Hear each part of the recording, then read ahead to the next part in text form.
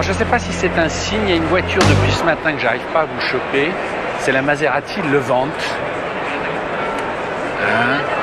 Après, après bien des, concepts, ça y est, il sort enfin. C'est le, Cayenne de Maserati. C'est leur, leur gros SUV. Hein, sur base euh, bah, qui est déclinaison de ce qu'on connaissait de Ghibli. euh, la quattroportée, très important pour eux, ils portent de grands, grands, grands espoirs. Vous savez, toutes les, les polémiques qu'on avait autour de, de Maserati. Alors, voilà, il- là, il y a, depuis ce matin, il y a un monde fou autour, j'arrive pas à vous la voir seul, mais regardez quand même. La, la- la grille, le- la- la grille avant est très impressionnante parce que là c'est presque une porte de prison, il y a un grand espacement, c'est très grand, c'est très large, le feu est très très étroit. Euh, on dit toujours hein, la gueule qui dévore la route, mais, mais là on y est. Alors, Il n'y a que les Italiens pour mettre des jeunes filles dans des robes comme ça, on se croirait dans, dans un opéra de Verdi. Admirer les portières sans montant, ça j'avais pas vu. Un vitrage très épais. Voilà, qui doit être un rétroviseur énorme, mais ça c'est les. C'est les, c'est la norme. Bon, les, les trois petites euh, sorties d'ouïe. La voiture interpelle. hein, La voiture interpelle.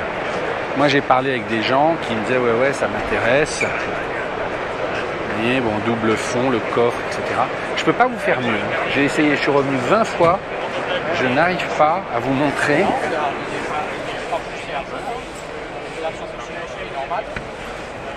Alors l'intérieur c'est très proche des, des Ghibli et Quattroportes. Une petite prise USB. Je fais un rapide la, grande console, la molette.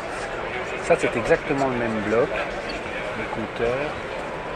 C'est pas très heureux, ça. Même s'ils mettent une petite horloge. Voilà, là on a le compteur, du carbone. Il y a, tous les éléments, mais ça, manque de grâce. On doit avoir une suspension euh, pneumatique parce qu'il y a ce petit bouton là. Ça, ça s'ouvre. Voilà. Grosses pédales Maserati. Allez-y, allez-y. Bon. En fait, le problème que j'ai avec les Maserati, c'est que ça répond au cahier des charges du marché. Qu'il y a- il on sent qu'il y a tout ce qu'il faut. Mais euh, vous voyez, on, était tout à l'heure chez Alpha. Je trouve que la Giulia, dans ses versions euh, de route normale, a plus de cachet, de style, de, simplicité. Alors que là, j'ai l'impression que ça a un peu été, euh, ça a été un peu bricolé. Je ne sais pas ce qu'il fait ce monsieur. Il y a un gros V6.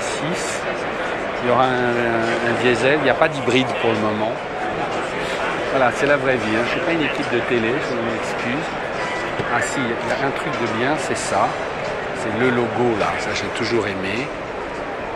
Voilà.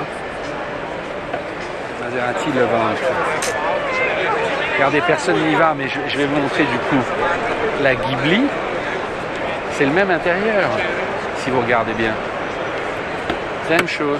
C'est pas grave, hein Tout le monde fait ça, mais vous voyez ce que j'arrive pas à vous montrer de l'autre côté, regardez là la, la- c'est la même définition. Et là, c'est trop massif tout ça. Ça manque de grâce. Alors les mauvaises langues me diront que c'est parce qu'en fait, c'est les, c'est les planches euh, euh, du groupe euh, Dodge, Jeep, qui expliquent qu'ils sont obligés d'avoir en fait tout ce qui est platine derrière, qui est caché, viendrait de la même, la même famille, donc ils sont obligés de faire un dessin un poil massif. Bon, la levante, j'ai du mal à avoir le recul nécessaire, à part cette calandre. Allez-y, hein. On s'attend à ce qu'elle chante. allez-y. We expect you to sing, you know. Oh, Maserati!